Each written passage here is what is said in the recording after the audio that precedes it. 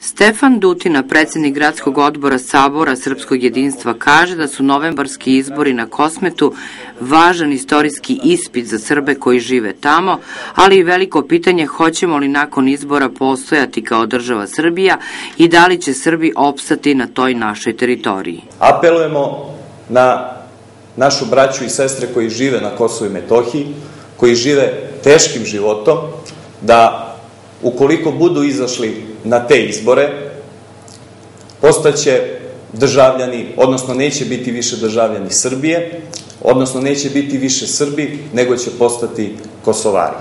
Od tog momenta priznaće takozvanu nezavisnu državu Kosovo i automatski postati njeni državljani. Govoreći o političkoj situaciji u Vranju, Dutina kaže da se još jednom pokazalo da je stvaranje neprirodne koalicije između Socijalističke partije Srbije i Srpske napredne stranke plodno tle za rešavanje ličnih i stranačkih interesa.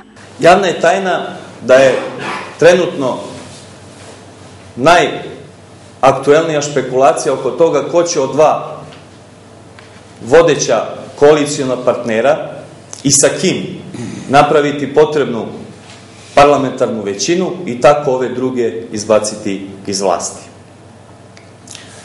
Što se toga tiče, mi smatramo da je to možda i legitimna politička borba, međutim, gospoda na vlasti mora da izađe u javnost i da saopšti građanima da koalicija više ne funkcioniše i da oni nisu sposobni da zajedno vode ovaj grad. Tutina je naveo primjer da se ne poštoje depolitizacija neprekidno zagovarana u predizbornim kampanjama u dva javna preduzeća.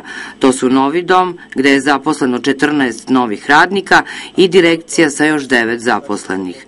Zbog mnogih problema u koaliciji na vlasti, stav Sabora Srpskog jedinstva je da je jedino rešenje da se u Vranju organizuju vanredni lokalni izbori. se da